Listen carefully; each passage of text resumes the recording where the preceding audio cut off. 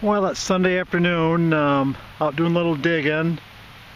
My wife took me on a trip to Gettysburg, Pennsylvania. We spent a few days in Gettysburg um, checking out the battlefield and all the history of the town. I thoroughly enjoyed myself. I wish I could have done a little digging there, but uh, felony charges with a $500 fine is not cool. So I'm back in my hometown in Michigan.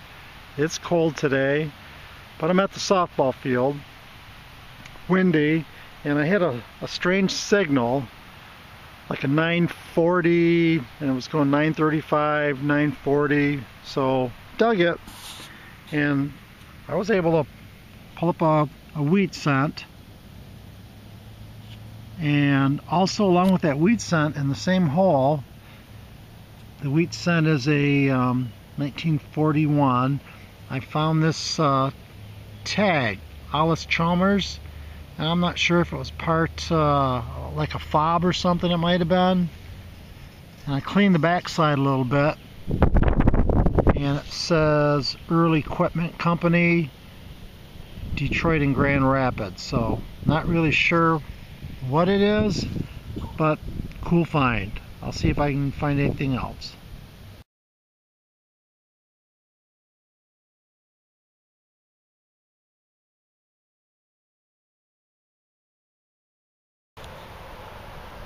Hey everyone, it's Thursday. I'm out doing some detecting here in Michigan and these colors are just incredible. I hope you can see some of these in this tree. I'm going to pan around here to the other side and there's a, just a gorgeous tree behind me.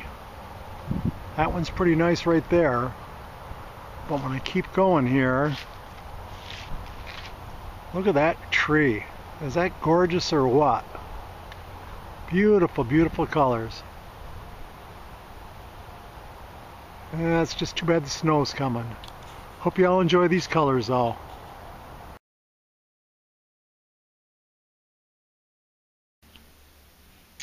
Hello everyone. Uh, thought I'd do a, a wrap up from my last couple of hunts.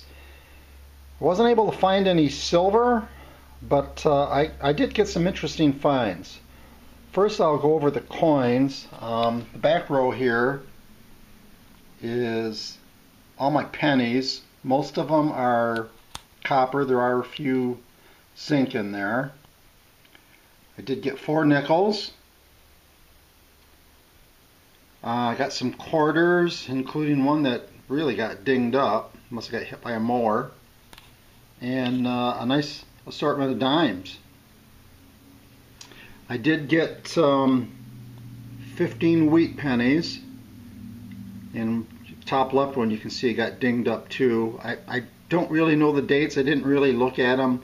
Uh, I'm guessing most are 40s, 50s, but maybe there's some older ones in there. I hope so. And I got the usual amount of uh, junk. As you can see, nails, bolts, pull tabs.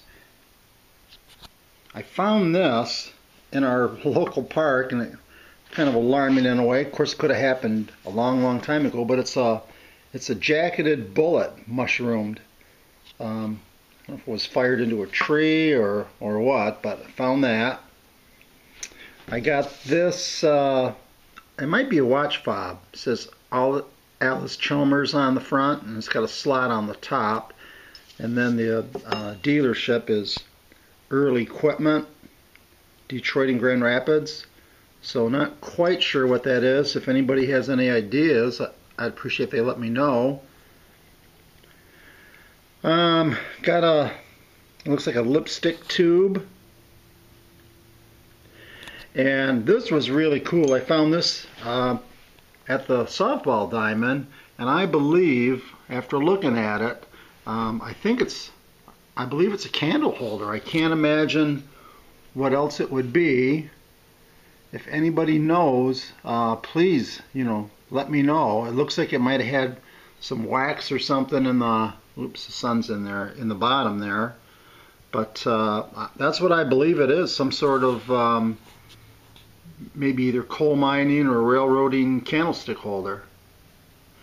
And then this one really puzzles me. I found this this ball and it measures just over an inch in diameter I'm not sure what it's made of,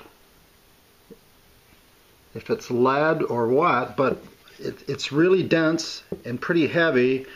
And the only thing that I can compare it to would be like a, a canister round, um, you know, from a Civil War type cannon. If anybody, this one really uh, has me confused, you know, why I would find it in this area. If anyone has any ideas or suggestions on maybe a way to identify that, I, would really appreciate your input. So that's what I found. Um, gonna get out again tomorrow. Dave and I are gonna go hunt a couple of older parks and we'll see what we can find. So everybody have a good weekend. Find lots of goodies. Happy hunting and good luck.